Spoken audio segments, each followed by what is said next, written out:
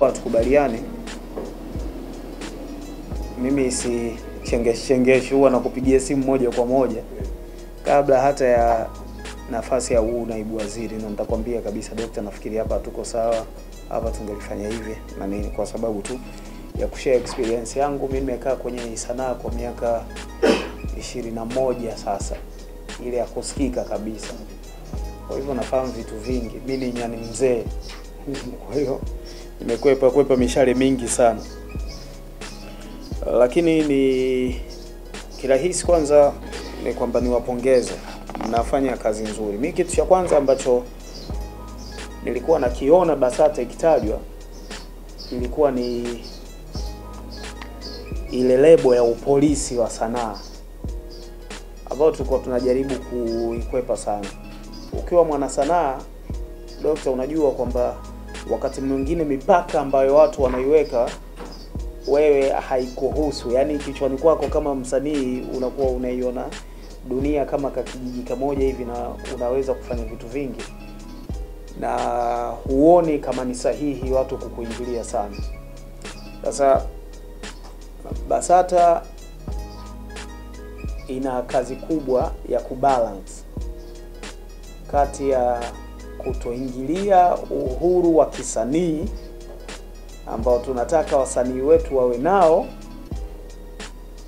lakini kuhakikisha hawatumii sanaa zao kutuporomoshea maadili na mchango wao ukawa na negative impact kwenye jamii yetu. Sasa hapa kuna kuna mgongano wa hizo generations. Hii generation Z uh, viwango vyao na millennials na wanyuma zaidi havi havilingani kabisa. Vitu vingi ambavyo wewe na mimi pengine tungeviona vya ajabu havikuwa vinatakiwa kufanyika, hawa mabwana wanaona ni iko katika haki yao ya kimsingi ya uhuru wa kujieleza na kuexpress sanaa zao. Sasa si hatuko hapa kwa ajili ya kudumaza sanaa. Sanaa inabidi sanaa yetu iende kwa kasi ya dunia inavyoenda, kwa kasi ya sanaa ya dunia na yenyewe inavyokwenda, na jukumu letu ni kulinda maadili, lakini tukiwa na balance ya kuhakikisha hatudumazi sanaa. Sasa hapo ndo mtihani ulipo. Wakati mwingine ni ni consciousness yako tu kwamba hiki ni sahihi, hiki sio sahihi. Wakati mwingine tafsiri yangu na tafsiri ya mtu mwingine inaweza kuwa tofauti kuhusiana na jambo, lakini tufanye tu, niwaombe tufanye tu tukiwa na mioyo safi kwamba tunachojaribu kufanya ni kutodumaza sanaa, lakini ni kuhakikisha tunafanyia kazi jukumu letu la msingi la kulinda maadili ya, ya nchi yetu. Hatutaki kwamba sisi tuwe labeled aidha tumedumaza sanaa ama tume, tume, tumeacha maadili yakamong'onyoka uh, under our watch. Kwa hiyo hiyo hiyo ni kazi kubwa, na nafikiri muongeze juhudi kwenye kuifanya. Siwaambii muwe mapolisi, lakini angalieni namna mnavyoweza kufanya. Tusiruhusu maadili ya, ya sana, lakini hali kadhalika tusidumaze sana sana. Nafikiri naeleweka.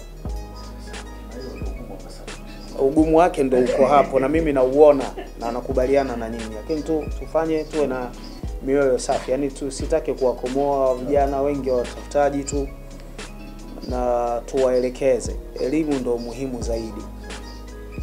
Mimi kama ambavyo nimesema awali, mimi nimefanya mziki kwa miaka ishirini na kitu uh, dokta na ndugu zangu, lakini sijapata matatizo mengi sana ya kimaadili na shughuli zilikuwa zinaenda yaani hapa na pale. Wakati mwingine ndo hiyo tafsiri ya sanaa inakuwa tofauti na tafsiri za watu wengine. Mimi kama msanii na watu wanaonisikiliza, siko siko niko committed kuhakikisha sanaa yangu inanyooka, lakini siko ko, uh, uh, siwajibiki kwa namna ambavyo wao wanaielewa,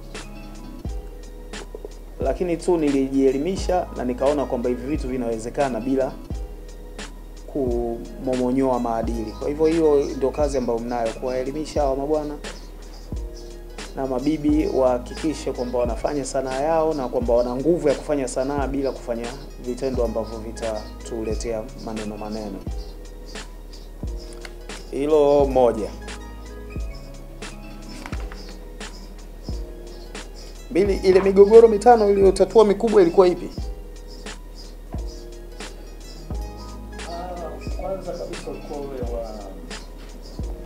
Wa Diamond na Rayvanny.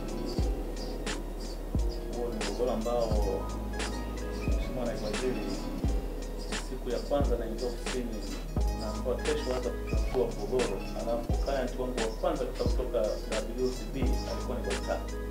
Mm. Yaani nimeingia ofisini leo tarehe kumi na mbili kesho kumi na tatu tukaanza kesi na WCB. Mm. Kwa hiyo mgogoro kwa kweli eh, ulipochukua miezi mitatu kuumaliza, lakini njia iliyotumika ilifikia mahali niliwakataa wanasheria, kwa sababu ilikuwa nilikuwa nakuja na wanasheria watano, Diamond pia wanaume watano. Kwa hiyo tukafika tukaa tunabishana sasa kitu kisheria na vifungu na nini, baadaye mimi nikawakataa wanasheria, nikasema naomba nikutane na Rayvanny Diamond kwa hiyo kuwaunganisha ukawa unakutana pia wao kwa wao, hata napigia damu sababu na leo amekuja nyumbani pamoja na mpaka tunafikia mwisho, hata- ngoma yao ya mwisho wamekuwa kufanya pamoja, hata watu wanashangaa kwamba hao watu walikuwa na lakini ukweli kwamba the bottom line kwamba Rayvanny ilikuwa ni lazima anasema kwamba bana